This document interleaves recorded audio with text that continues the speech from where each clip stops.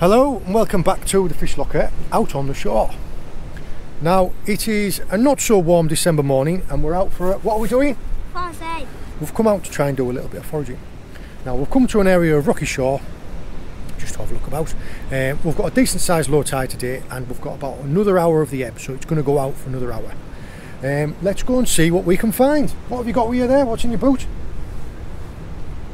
James has got his foraging spear. We've got our lucky foraging bucket and um, fingers crossed we'll go and find something.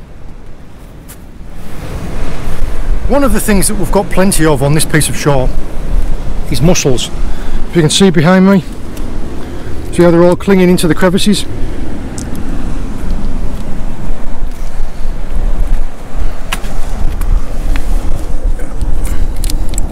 Now, that is about as small as you want to take them. So all we'll have to do is we'll just look through and we'll find the big ones. So that size and bigger. We've also got some dog whelks. You got plenty of them. You see them all around. And some anemones.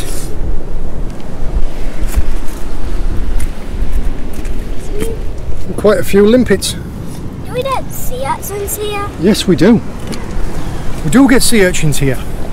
We might even find one today if we're lucky. So we'll work our way along, see if we can't find some good ones. There is a really pretty anemone in there.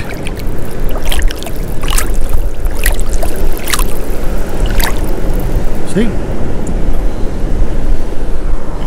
Quite a few of them about the place. There's another one.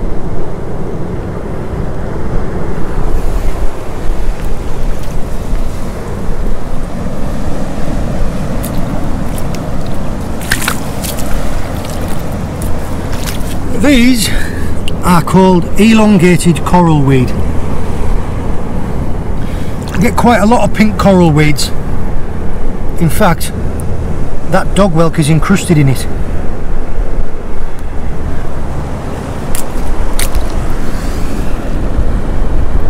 There's a little tiny snake locks anemone on there. And these that you can see these here are dog whelk eggs. So they are the eggs of all of these. It's quite a nice stripy one. They do come in a few different colours. You can see. And they eat mussels. There's a load of eggs up there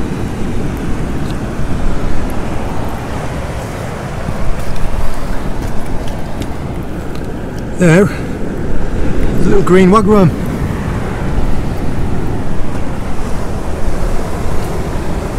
Let's go and have a look.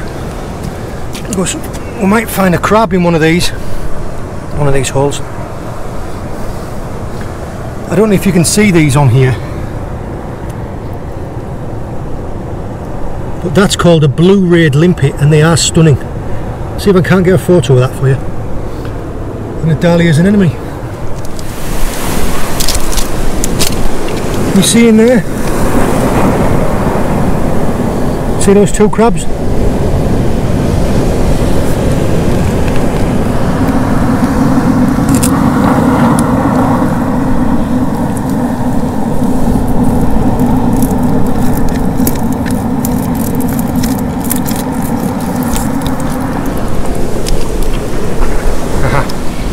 There we are, look. A male and a female. You can tell because when you turn them over, the male has got a narrow V and a female has got a wide one. See the difference? Between the wide and the narrow. Also look at the claw size difference. This one here is about ready to peel because you can see there she's got a little leg that's just growing back and there look so what he'll be doing put them back in there they're too small to take they're smaller than they're too small to take. Minimum landing size will probably be about that big. So about that much more. So we'll put them both back in there.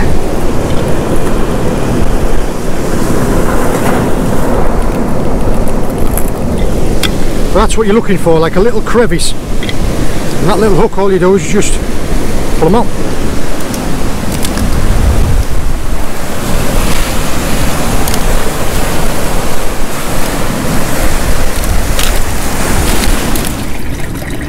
In here there's some lovely looking dahlias and anemone. There's another one here. These.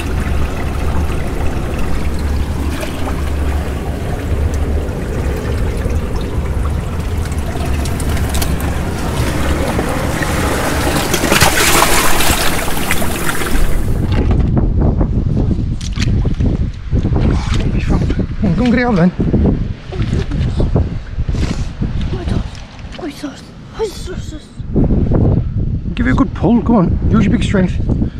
Turn it over. Wow, now that is a nice one. Oh, good. That is a lovely shell, isn't it? That's a plover bastard. What is it? type of shell is it? The twam. It's a scallop shell. Yeah. Put that in our bucket.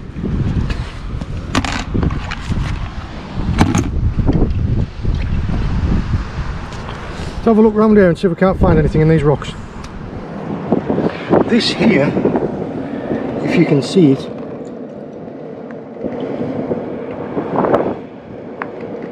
like a dark tree, just there. That's the back end of a sea cucumber.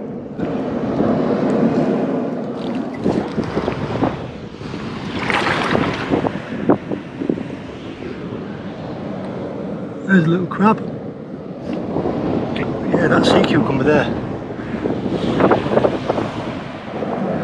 I don't know if you can see them up there, but there are some cushion stars and some cowries.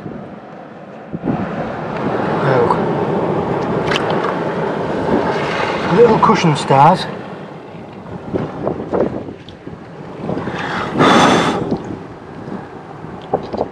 And that is a little native two-spotted cowrie. These were actually two different species of cowrie. The smaller spotted one is the European cowrie and the larger whiter one is an Arctic cowrie.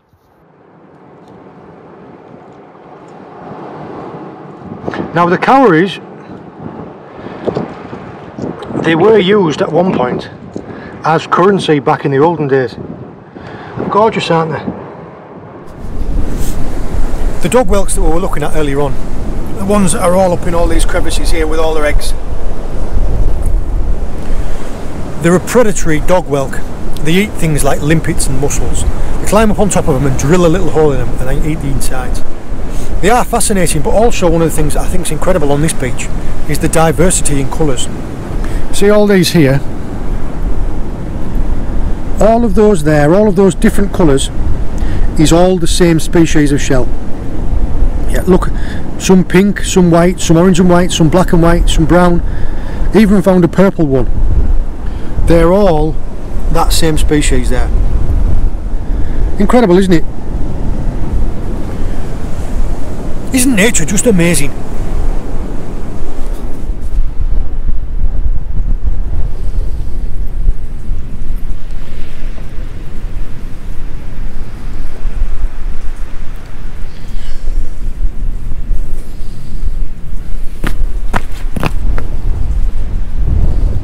When you're collecting any shellfish, you never want to take everything that's there. So when you find a bunch like this, just take one or two from a bunch. That way, your foraging is incredibly low impact. Taking one out of that group there, they won't even notice. They can continue to breed and carry on. Take that one as well actually. So, just take one or two from every bunch. don't take everything from a single place. When you've got this many, when there's this many, you're not going to touch them anyway. You could take a bucket full and they wouldn't even realise. Oh, James has found a monster one, haven't you? Come on, Sorry, I've got you. I'm going to grab it and put it in bucket. We need to pull hard on it though. Go on. Oh! That was a monster one, wasn't it? That was a good one. Also, picked up a lure. I don't know who's been fishing with a spinner with a wire trace. I think they've probably been hoping for a barracuda. Oh, there's another good one.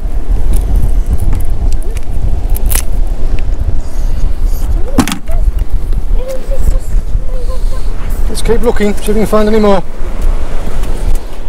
Some big limpets, isn't there? Oh, there's one. There's a big one. There's a big one. Sam's name's so tiny. Yep. Sam's name wizard You found another monster one, haven't you? Go on. Yeah. Get it pulled up then. Right, it's stuck strong. Yeah. Give it a good pull then. Do you need some help? Yeah. Yeah, sometimes they can be really well stuck with those beards there. See? This one's got an anemone on it. Let's get that anemone off. Oh, I can see another big one over here. That's someone else. It's that. I'll get it for you. There you go.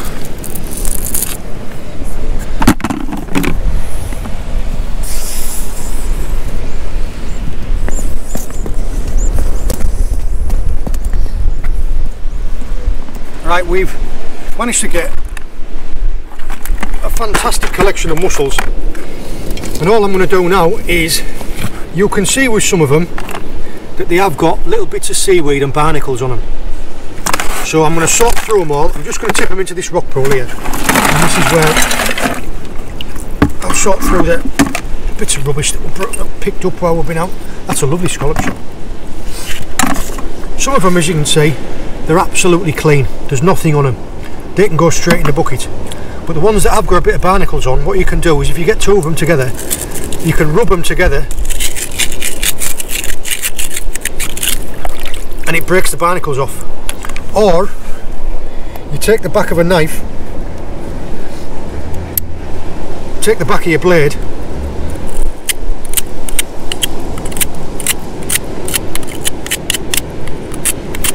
and just clean it all off. There. So I'll go through and I'll grade them, and I'll just keep all the best ones, and I'll leave leave the slightly smaller ones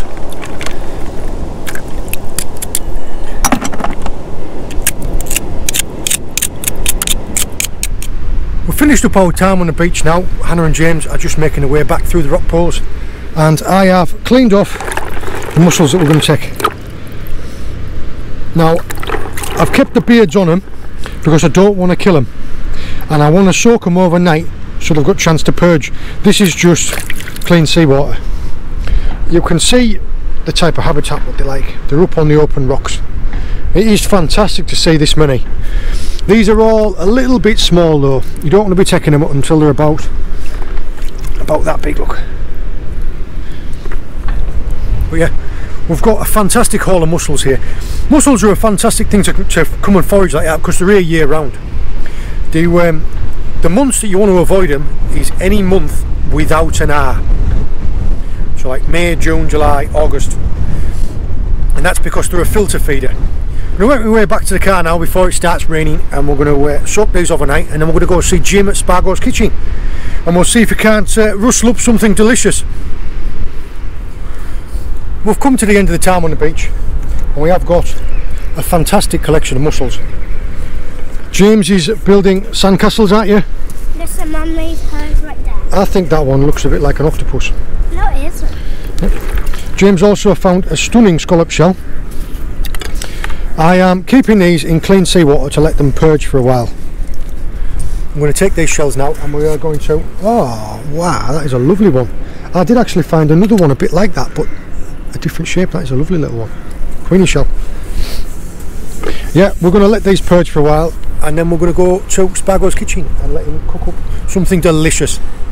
It's uh, And warm. you called it. yeah, it's, it's not a warm day. Um, mussels are fantastic. They're, they're resident all year round. They're stuck to the rocks. The only time of year when you shouldn't collect them is a month without an R. So like May, June, July, August. And that's because they're a filter feeder and there's sometimes like bacteria and plankton. We get an algal bloom called May bloom Um, so any of the other months, like now, are perfect for, for collecting mussels. So we will see you in a bit. Right, we have the mussels that we collected on the beach yesterday. These have been soaking, purging overnight in clean salt water and I'm just giving them one final once over. That's making sure that I get rid of any barnacles that I've missed and pulling the beards out because you need to remove the beards just before cooking.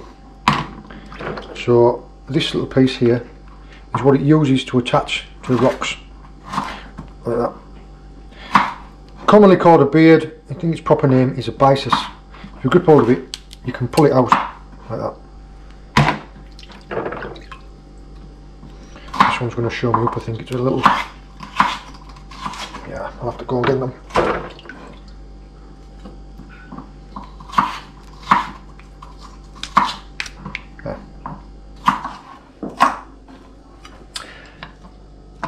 John has rocked up with some superb mussels he's foraged. So I've gone through the cupboard and the fridge and I'm going to cook them two ways. One with cider and vegetables and we'll also make a smoked paprika tomato chowder. Mussels are prepped, barnacles scraped off, beards removed and I've chopped onion, celery, carrot, garlic and a small chilli. How many cloves of garlic do you manage to get? That was three. So I'm going to just I'm going to divide all of this except for the chilies. I'm going to divide this between the two. So we'll start off with a good knob of butter in each pan.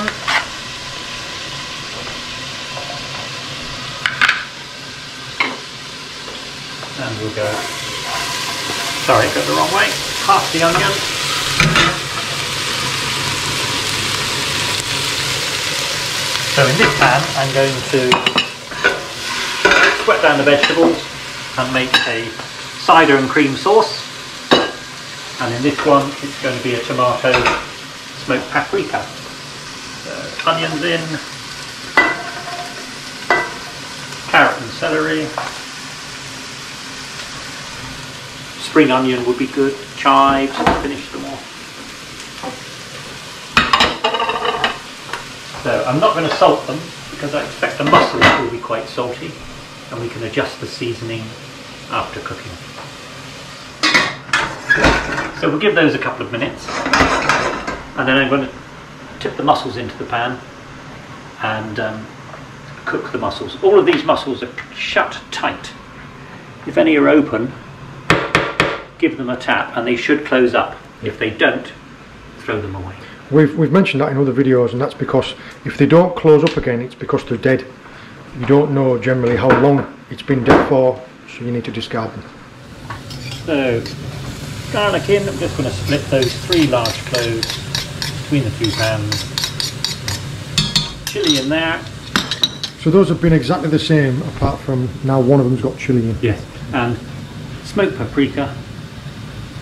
And I'm going to put that in the smaller pan. Just let that. It's about half a teaspoon. And we'll just let that cook out quite. I've got a bit of boiling water. I'm just going to pop that in the pan to a minute. Just want to generate lots of steam. Now we must have over a couple of kilos of mussels. I would expect that to feed. Main course, three really large portions, four, maybe five if your appetites are modest. I suppose that'll be the that'll be the guide, won't it? And it, it depends how much you want to eat. So I'm just going to split them in half. The bigger, the biggest pan you've possibly got. So mussels in and lid on. We're going to leave those for a couple of minutes. I just need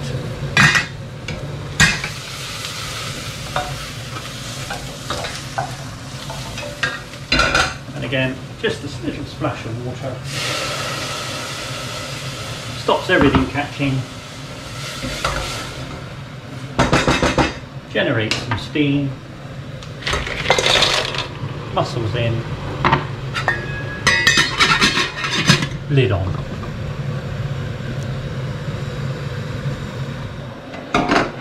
Right, mussels have had a couple of minutes, so let's give them a stir.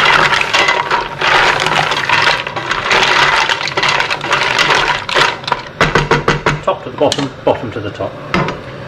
Some of them are beginning to open, some are still tightly closed. So there's only just a bit of water in there to generate steam. Just- You're not boiling them. It's just No, no, no, just just want some steam. I mean, you could use, we could have used cider. We could have used, if you were going to do them in a French style, uh, you could have put a bit of white wine in there. But Uh, see, they're all still pretty tightly uh, shut up. So we'll give another couple of minutes. Right, they've had a they've had a sizable mussels. They've had a scant five minutes. I'm going to tip them colander over a bowl.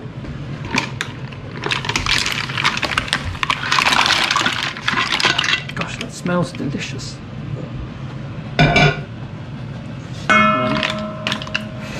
When the steam has gone away a little bit, I'll go over there, go over these, and make sure that every one of them is open.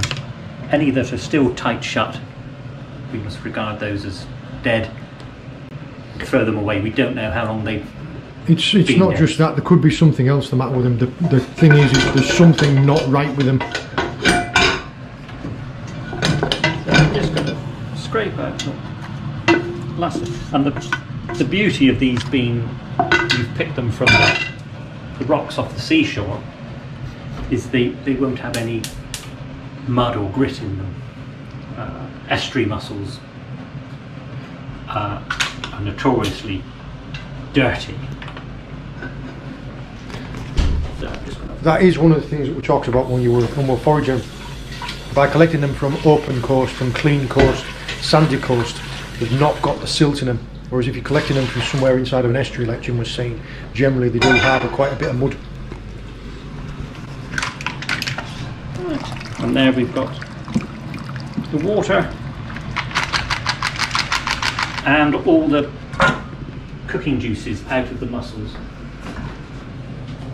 So in, in the bowl we've got the uh, all the juices from the mussels. I've got a very fine strainer and I'm just going to pass that back into the pan and just go slowly because there you can see just a bit of grit Just decanted it off, haven't you? there we go, and I'm going to stop there.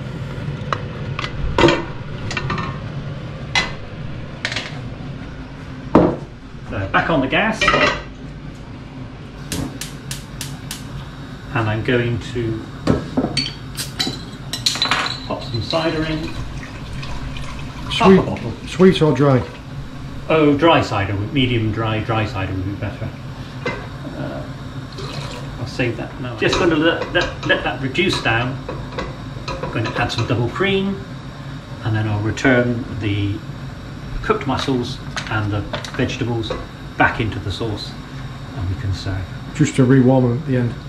They'll, they'll still be hot, but yes, just to give them a minute. And these are the mussels in the smoked paprika liquid. Into there.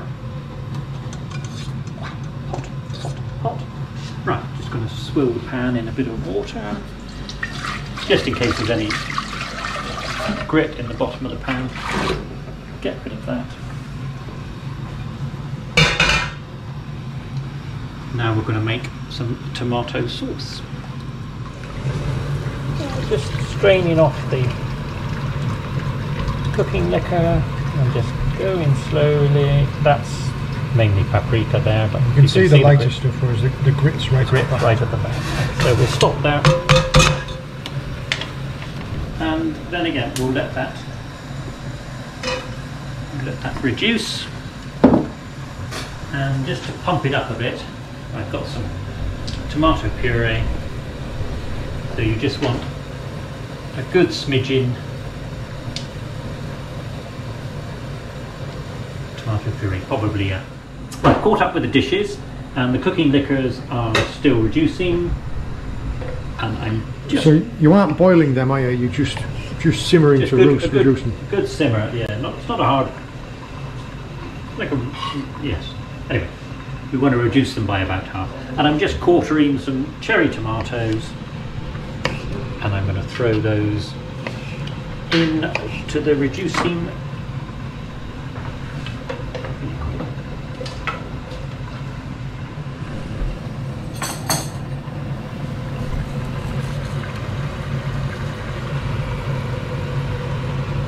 Okay. Right, we've had these liquids reducing, so I'm going to put about. Uh, this is uh, 600 mils, so I'm going to put about 300 mil in there, and not so much in the tomato one.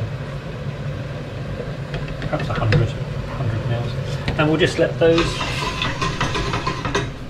simmer down. And into the cider cream. Oh, lovely. Just, mm. yes, good job we didn't salt that. You can just taste the, the sort of brininess from the mussels in that one. So these are the uh, the mussels for the cider sauce. So we'll tip those back in. For the vegetables.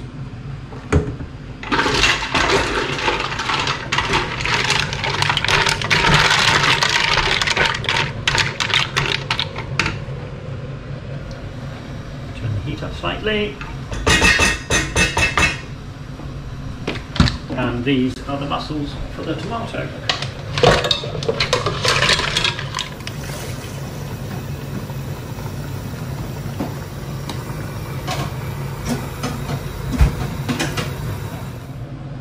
I just roughly chopped a bit of curly parsley.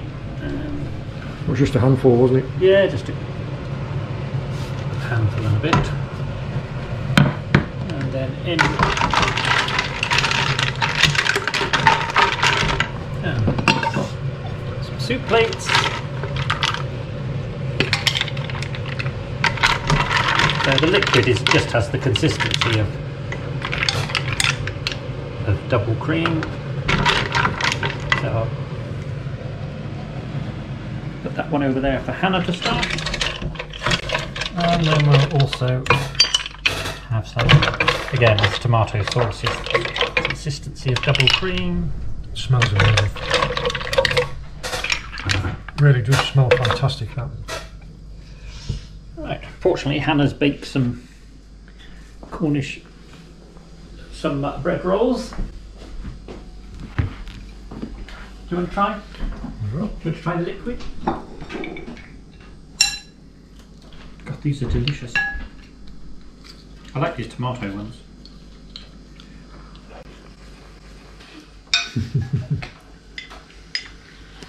With fresh made bread rolls.